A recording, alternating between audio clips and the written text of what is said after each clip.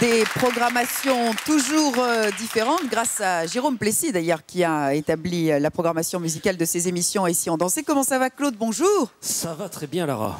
Bon, alors il y a un album. Il y en a Oui, plusieurs, mais il y en a en plusieurs, en tout cas. oui. Vous surfez sur la vague des ch'tis?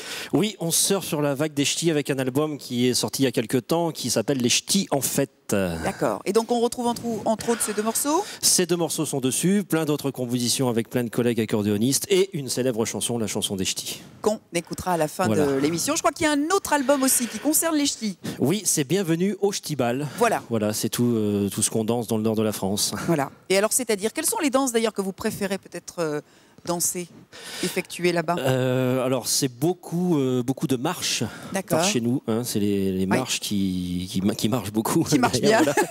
Euh, le passo, le tango, bien sûr, parce que ça. Bien.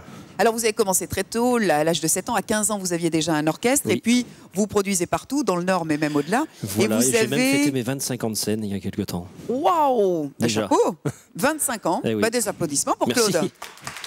Des formations, alors vous changez, hein, formation d'orchestre, ça dépend euh, des demandes. Oui, les formations, ça dépend euh, ce que les organisateurs nous demandent. On va euh, de 2-3 musiciens jusqu'à euh, autant, autant qu'on veut. Très bien. Et vous avez une autre facette.